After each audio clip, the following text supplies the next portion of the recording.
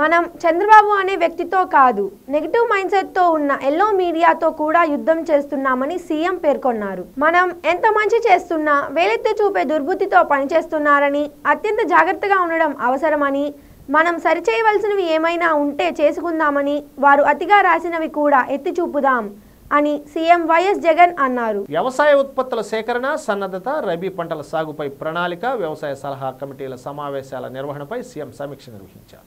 ఖరీఫ్ పంట చేతికొస్తుంది కాబట్టి అక్టోబర్ పదిహేను నుంచి ధ్యాస పెట్టాలని సీఎం వైఎస్ జగన్ తెలిపారు. ఆర్బీకేల ద్వారా మన ప్రొక్యూర్మెంట్ మరింత ఎఫెక్టివ్గా పనిచేయాలని ఈ క్రాపింగ్ ప్రతి పంటకు కంప్లీట్ కావాలన్నారు.